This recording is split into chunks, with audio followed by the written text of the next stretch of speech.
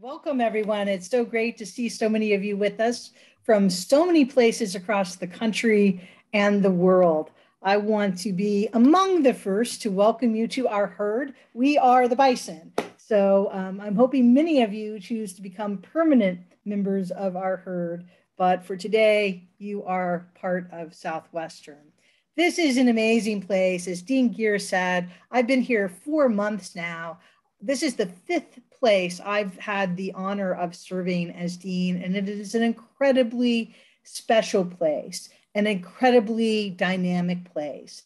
As you can see from some of the icons on this page, we are a top school for entertainment law. We are an incredibly diverse community. We have top programs in a variety of areas, including advocacy and litigation, family law, international law, we send competition teams across the country and they come back with more than their fair share of victory. So there is a lot always going on in our community. Southwestern holds a very special place in the California and particularly the Los Angeles legal community. As we were talking about as a ramp up to the formal program, we had the first night program in Los Angeles. We have a ton of first. You can see just a small snippet of our first on this page. The, our very first graduate was a woman, and she be, went on to become the first female public defender in the nation. We had the first Black female appellate justice in the nation, the first Chinese American federal district judge in the continental United States. So Southwestern has always been a place that welcomed people who had the ability and the desire to practice law, regardless of what they looked like or who they came from. And those people, in turn, have gone out and really transformed the face of the city of Los Angeles. For example, our alum, Mayor Bradley, who Tom Bradley, who served for mayor for 40, uh, this is the longest serving uh, mayor. We've had mayors serve for 40 total years representing um, our great school. Um, they've changed the face of legal practice. We have alums who are doing cutting edge litigation, who are in government, who are leading public service organizations. So we are a school that really prides ourselves on being able to give back and serve this wonderful community of Los Angeles. I am so sorry that we could not host you today in our wonderful facilities. This is a shot of the Bullocks Wilshire building. It is one of our three buildings on campus. It was a former department store and it's on the historic landmark of Register of Buildings. We have taken a lot of time to really restore it and it is just an Art Deco masterpiece. This building includes classrooms and a lot of faculty offices, our tea room, with is, which in non-COVID times is a gathering place, our law library, our fitness center, and so much else. We also have another building, our Westmoreland building, which includes classrooms and a lot of administrative offices, some faculty offices, and of course the residences, which include our student apartments. So it really is a fantastic environment in which to study law. Another thing that Southwestern prides itself on is its flexibility. We really try to meet students where they are and give them a variety of options to complete the JD degree, given their circumstances. So we have a traditional full-time program, and most of our students are in that program we have a part-time evening program, which is now hybrid. So some evenings you come to campus, some evenings you take your classes online. We actually have two part-time day programs. One is designed especially for people who are parents of younger children and they need to be home in the afternoon so they can take their classes in the morning. The other one is more flexible that you need to take your classes essentially during the day and you can mix and match your times there. Dean Rolnick is here, and she is the dean of the country's first two year JD program. You'll see other schools advertise that you can complete the JD in two years, but that just means you're going through on your own and taking classes year round.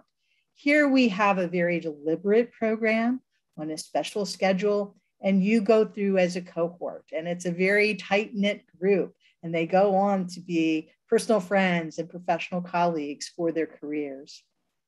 And we also have some ways that you can put together a dual degree, such as our JD MBA program. Now, the beauty of a JD is that it's a general degree. So once you earn that degree and pass the bar exam in the jurisdiction where you choose to practice, you can decide to practice whatever you want or in multiple areas, or you can decide to start in one area, maybe criminal law, and decide a few years later you'd like to shift in bankruptcy or family law. So our JD is that general degree. We have required courses, but you have the opportunity to take courses throughout the curriculum. But some students have a passion and they know exactly what they want to do. So we have developed six concentrations where you can marshal your elective credits and sort of get a head start in that area. And we're considering more areas as well. We're also a school that is about hands on experiential learning. From the very first semester, you're going to be able to get in there in our laws classes, our legal writing classes, and do things that are akin to representing actual clients. And then as you move through our curriculum, we have a tremendously varied and successful externship program. And we have multiple in house clinics. So, what's a clinic? A clinic is where you get to serve as the lawyer representing actual clients. And we also have a variety of community service and public service projects. So, you can get involved as deeply as you want to in the actual practice of law and working with actual attorneys throughout your time here. This page shows the statistics for our class that just started this past August. We started with about 380 students, and here you can see the breakdown on the top of the traditional day versus students versus scale versus part-time day. You can see that we are 51% racially and ethnically diverse. More than 40% of our students are first gen students. So we understand this and we put a lot of support around our courses. So we're not just going to drop you in the classroom. We're going to make sure that you have the tools succeed to succeed in the classroom and outside of the classroom. We draw people from around the country and around the world. We're slightly more female than male. And you can see that we have a wide range of, of ages in our student body as well. Now, as I mentioned, and I'm sure as some others are going to address in more detail, we do have a rigorous required curriculum. And this really prepares you not only for the practice of law, but to pass the bar exam. And we're doing very well in our bar pass statistics. And you can also see that our scale program has its own curriculum. So you're not just fending for yourself, you are with a group that moves through in a very deliberate way. And although many aspects of our curriculum look like other law schools, we have things that are very unique to us. For example, our academic support and bar preparation program, which begins in the first year with the foundations of law and practice. This gives you a background in how to approach law school, how to study for law school exams. It allows you to begin developing your professional identity. Another unique thing is the fact that in your first year, you can take an elective. That's pretty rare. Most times you don't get to take an elective until maybe your third semester if you're full-time student, maybe not until your fourth semester. But this allows you to pick an area and start exploring it and determining how you want to build the rest of your curriculum and the direction of your career. When I interviewed for this position, I was just taken with the professors here. They are amazing. They're smart, they have a varied professional background, and they care. They care a lot about the students. They work a lot with students outside of the classroom. They're always thinking about creative ways to engage students in the curriculum. And they're just an amazing, amazing respectful collegial group the best I have worked with. And so I'm very, very pleased to be able to say, come here because you want to study with our professors. And again, they think about ways to integrate the practice of law into the doctrinal classes. So, for example, this is a picture of one of our professors, Isabelle Gunning, and she integrates actual practice sessions, courtroom labs into her evidence class, which is amazing. You don't see that at every law school. And our professors are on the cutting edge, they are in the news. These two items are just from the last couple of days. We had one professor quoted extensively in the New York Times. We had another one featured in an article in The Hill. Um, Professor Van Landingham is a former military officer, and she does a lot in terms of national security and military law and criminal justice and things like that. And these are just a couple of our faculty who were featured this week in the media. We also offer unique programs that are adjacent to our curriculum. For example, the director of our writing center has launched a storytelling project. Now, think about it lawyers are professional communicators, and most of the time we're expected to persuade. And what persuades better than a good story? So, we take the time to provide programs for our students and our alums on how to improve their storytelling skills. I attended one of these programs just yesterday with our alum and someone who's also a professor. He runs our child advocacy program, Joey Esposito. And he really did keep me on the edge of my seat, wanting to know more about his trial techniques. And our alums really give back to help us create unique programs. So, two of our alums, really excellent trial lawyers, Brian Panish on the plaintiff side, Wally Yoka on the defense side, got together and have created a new fellowship program for students finishing their first year, where you get to do an externship with a defense litigation firm and a plaintiff's litigation firm during your first summer with a stipend. Again, I haven't seen anything like that at another law school, and I'm very excited to work with this community to continue building innovative programs like this. And going back to the idea that we don't just toss you into the classroom and let you fend for yourself. We build a lot of support around you.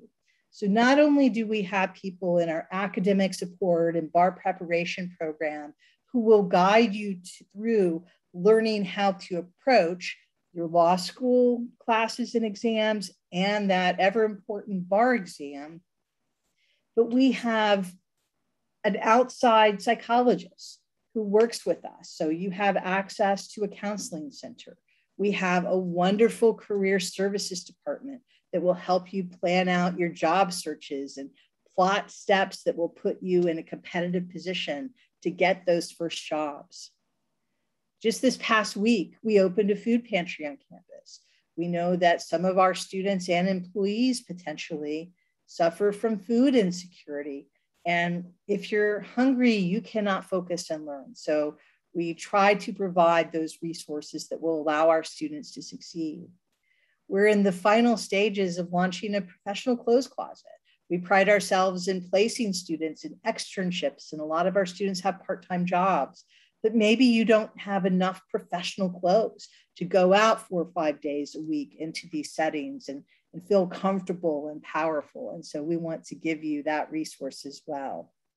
A program that I'm about to launch for graduating students is called Bridge to Practice. There's simply some things that you don't get in the law school curriculum. There's so much to learn when you're becoming a lawyer. So I'm going to take five or six of these topics that I didn't know about and I went out and made mistakes and didn't know how to do them when I was a, a new attorney. I come from a single family household. My mom was a, a secretary for a state agency. I didn't come from a family with lawyers. I didn't know lawyers. And so, again, I get it. I get that you're trying to not only be the best lawyer, but to be really a business professional and you need those skills. So some of the things we're going to cover are how to really make a great first impression at your first job. We're going to talk about the economics of law practice. We're going to talk about dining and event etiquette and so much more. We also have programs designed for specifically for first generation students. We have a wellness program that includes um, staying healthy mentally and physically. And we have just a wide variety of student organizations. So you can find your niche, you can find your group.